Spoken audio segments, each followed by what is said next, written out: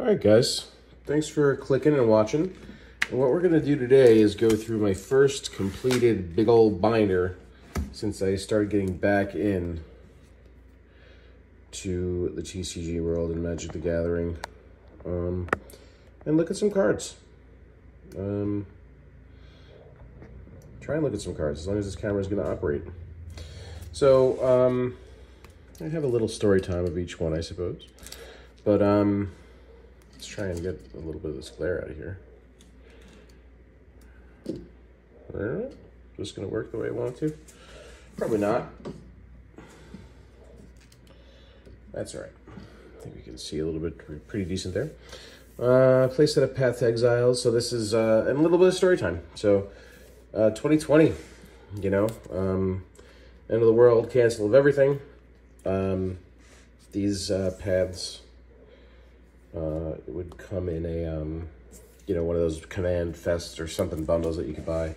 Same thing with the uh, Lightning Bolt here. And then on the bottom, we've got um, some promo Sol Rings and one foil. And then in the middle, the OG box toppers. Back from uh, Ultimate Masters. They gave two of these to everybody who tried to buy and had issue with uh, the uh, what you call it that they did for um, the uh, you know what what they even call that the collector edition, ultimate edition. I think it was ultimate edition. Um, the uh, War of the Spark, um, guilds of Ravnica, Ravnica allegiance. Um, you know, ultimate editions. Uh, when you tried to buy one of those and got screwed out of them, they sent you a box topper. Um, so that's why I have three because I opened one box, and then they sent me a box topper for the two canceled orders I had, um, which was kind of cool. All right, try and move this binder around a little bit. I think that's what I'm gonna have to do. And okay, not everything is gonna be, you know, oh my god, it's like a million dollars, it's so cool. But um, just kind of tells a story of the past couple years when we got back into this. We've got a couple, uh, M21 was the next set that kind of came out that uh, that summer, summer 2020. We're trying, actually, I'm just gonna ditch this. I'm just gonna hold this camera. All right. And, um, and yeah, so um, M21 was a really fun set. A lot of different planeswalkers. Stop it light. Um, a lot of different art styles. So you can see here we've got Walker the Deads in full arts. This is when they started making all the variants. This Teferi had like, you know, 16 different things or something.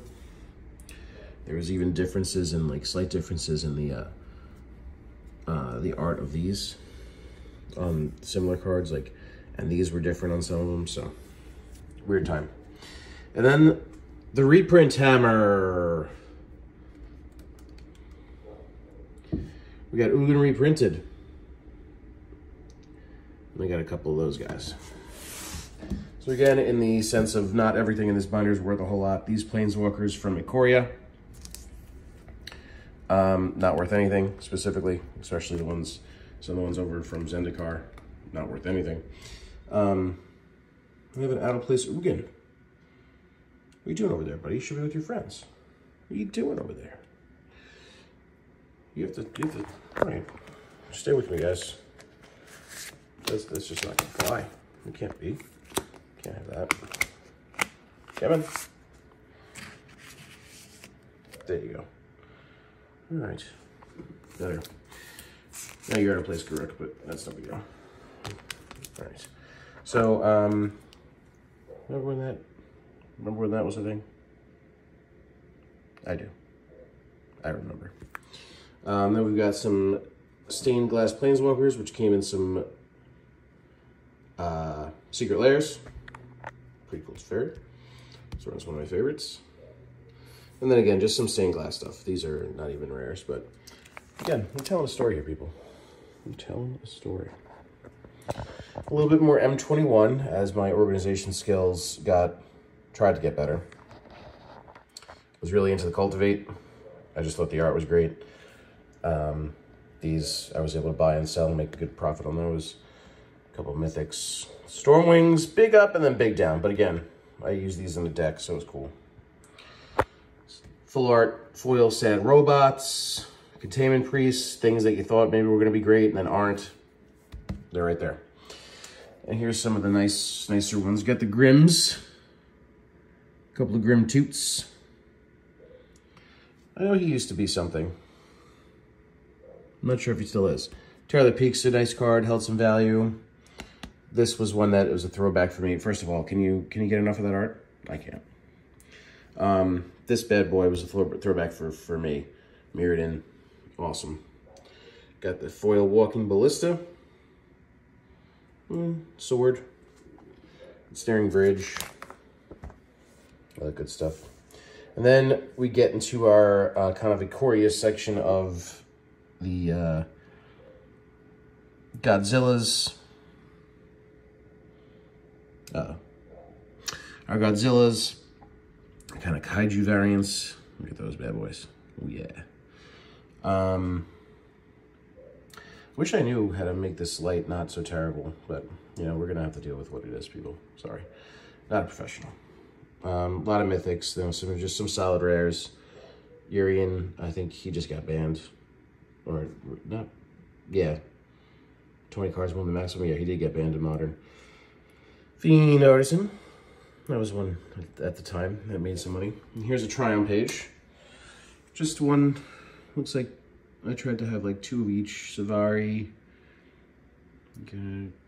Ketria, Zagoth, and then we were lucky enough to open a foil. And then two, actually I should probably sell one of these. but I was lucky enough to open a foil and then there's two. There's my Uro. I opened him at uh, pre-release for this set. Um, Theros. Really some fun. Um, then we're going to get into Double Master Territory. Now this one, I opened a lot of these. A little bit more money at the time, but these were the part of the $100 packs. Got a Kalia, Traxa, Full Art, um, Avacyn, Blightsteel. Got the full panoramic of the tower to the plant, to the mine, to the cairn. That's pretty cool. And for me, I'm ready into that. Got the opal and the mox. I'm sorry. The opal and, and the chrome, both mox. Couple swords, and we get to the ones that just are, I mean, you know, they're still really cool. Jace, really cool art. Batterskull, I thought it's using a Deluge. Rift, Crop Rotation, Exploration. Hierarchs, Blood Moons.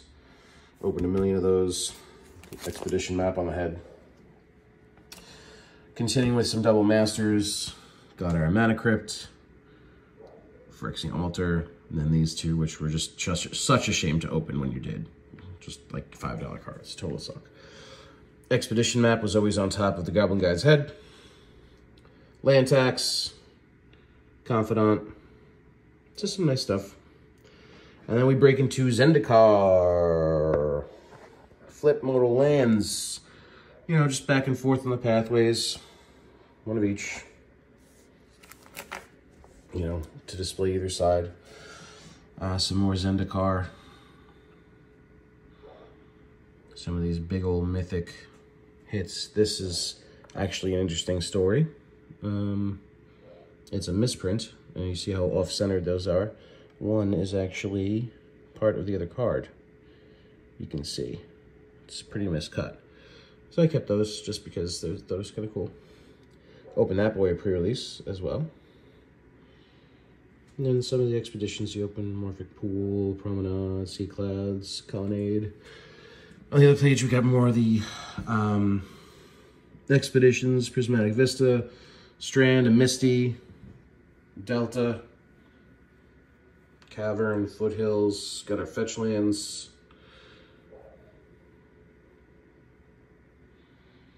Kind of fun. This is some Commander Legends, I believe we get into now. Um, this is a an extra of the Doggo Secret Lair. I don't know why I had extra, but I opened it, kept it. Um, some lands, and then some Commander Legend stuff. Got my Jewel Lotus down here. She pretty. Full Foil Commander Plate. I don't know why I just did this so you can see it, but weird. Um, and then some lands, you know. Can never have enough land. Never have enough land. And then over in this page, more from Kaldheim. Got our Goldspan Dragon, you know, the staples of the time. A Valki was lucky enough to open a Vorinclex. That was our first indication that Phyrexia was coming back. Scary times.